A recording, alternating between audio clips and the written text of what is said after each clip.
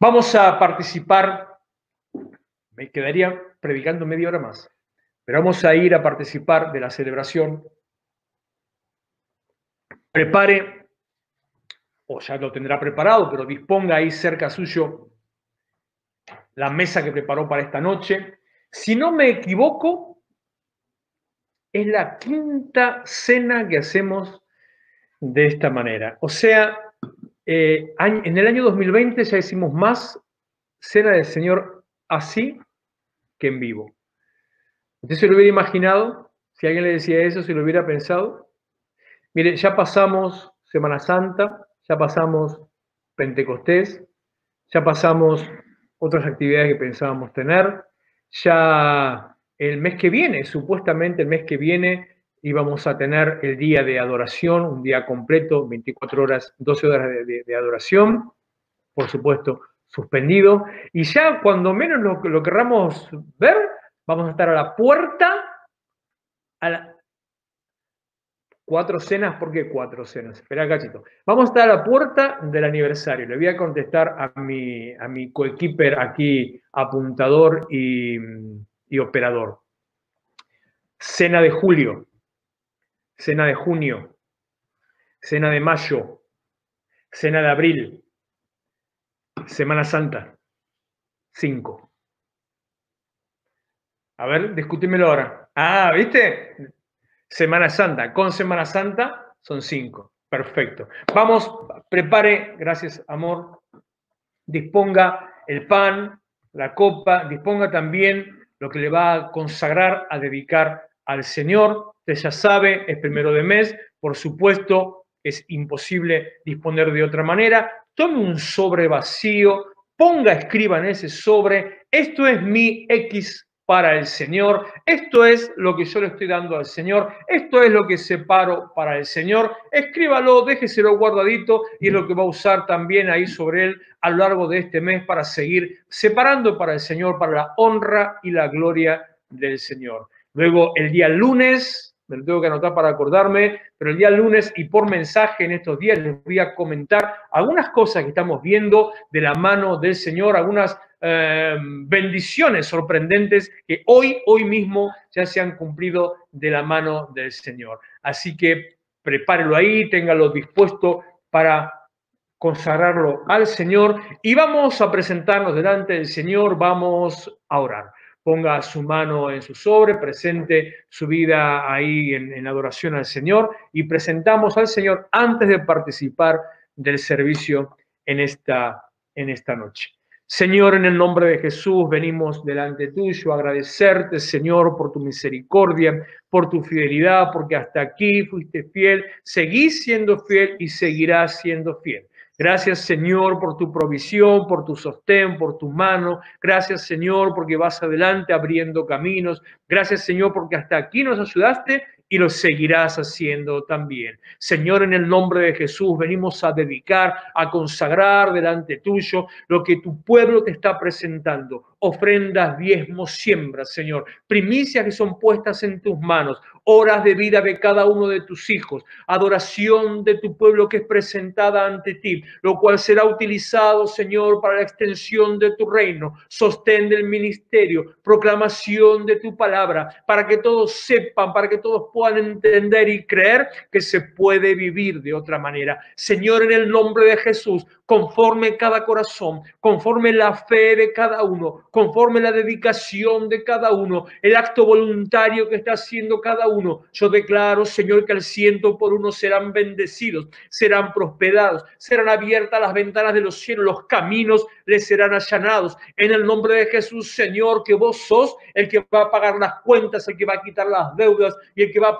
proveer en abundancia, como la palabra que le diste a Abraham tu galardón será sobremanera grande. Así lo mismo, Señor, en el nombre de Jesús, con cada uno que escuche esta palabra, desde aquí en adelante, los tiempos que siguen, Señor, bendición, multiplicación y provisión en abundancia. Lo ponemos en tus manos, lo consagramos a vos y te damos toda la gloria en el nombre de Jesús.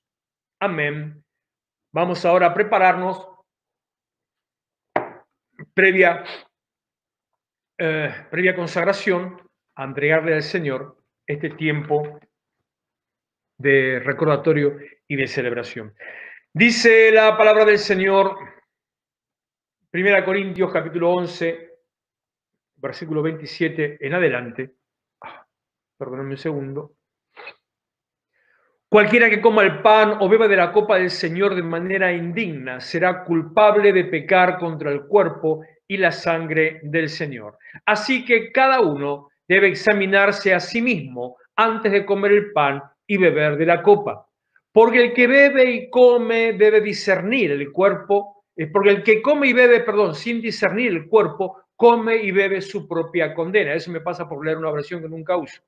Por eso hay entre ustedes muchos débiles y enfermos e incluso varios han muerto. Si nos examináramos a nosotros mismos, no se nos juzgaría, pero si nos juzga el Señor, nos disciplina para que no seamos condenados con el mundo. Por lo tanto, vamos a presentar nuestra vida ahora delante del Señor, vamos a ponernos en oración y en adoración delante de Él, consagrando nuestra vida nuevamente. Acompáñeme, cierra sus ojos conmigo. Si por alguna situación en algún momento le han dicho que no puede participar o que no es digno de acercarse al Señor porque está viviendo en una manera que no es conforme a la manera que el Señor quiere, si está viviendo en una manera que es desagradable o incorrecta delante del Señor, nos presentamos delante de Él y declaramos declaramos que el Señor una vez más abre los caminos. Repita conmigo sencillamente estas palabras, Señor Jesús, en esta noche yo vengo a ti me presento delante tuyo y presento mi corazón.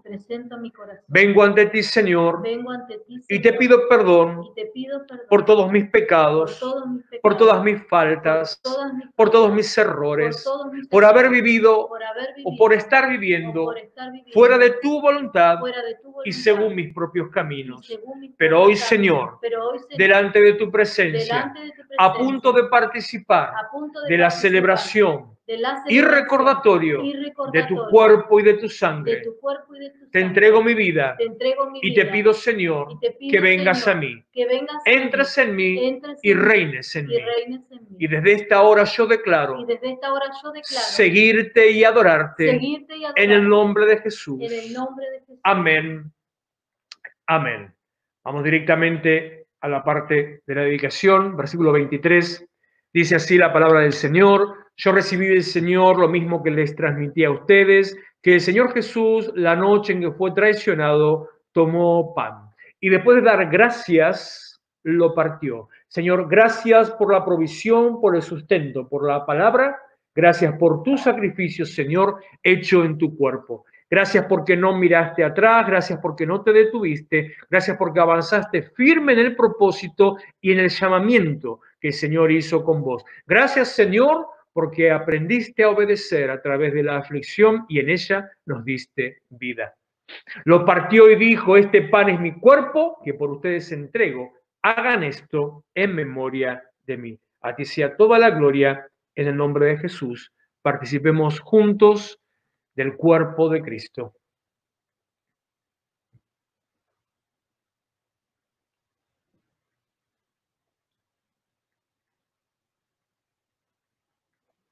Gracias Señor, Dios poderoso.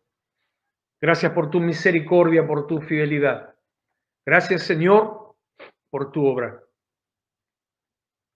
25, por favor.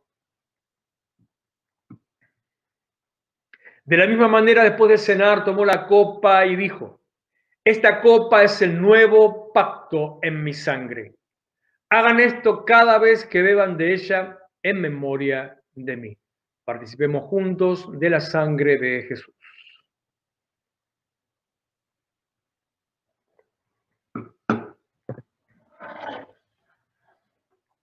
Deja a un costado su copa.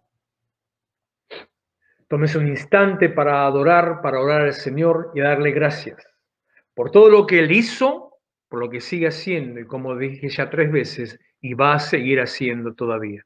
Adoramos tu nombre, Señor, en esta noche. Te reconocemos y te honramos. Te damos gracias porque estás por delante, porque estás con nosotros. Gracias, Señor, porque nos sostenés y nos guardás. Gracias, Señor, por tu sacrificio y por tu sangre, en la cual nos diste vida. Y en esa vida, Señor, nos llenaste y alumbrás para dar vida a otros. Nos preparamos, Señor, para anunciar, para alumbrar, nos preparamos para responder tu llamado. También, Señor, para estar dispuestos a ser herramientas de cambio, de transformación en una sociedad que desesperada, Señor, no tiene rumbo ni destino, ni sabe dónde dirigirse, a los cuales, Señor, podemos mostrarles que se puede vivir de otra manera. A ti sea toda la gloria en el nombre de Jesús. Y termina la palabra diciendo, porque cada vez que comen este pan y beben esta copa, la muerte del Señor anuncian hasta que Él venga.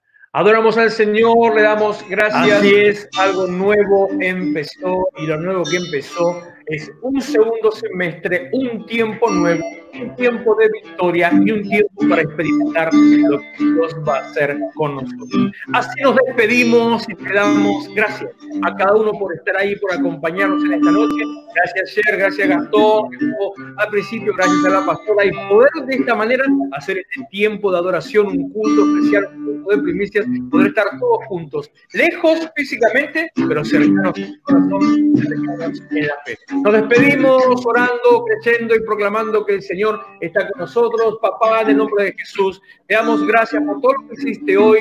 Yo vengo a bendecir tu pueblo, a bendecir la iglesia, conforme tu palabra, declarando iglesia restauración. Cuán hermosos son tus hogares, cuán hermosas son tus tiendas. El Señor te bendiga y te guarde, y haga resplandecer su sobre ti de ti misericordia y ponga, Señor, en ti paz. En el nombre de Jesús. Amén. Amén. Amén.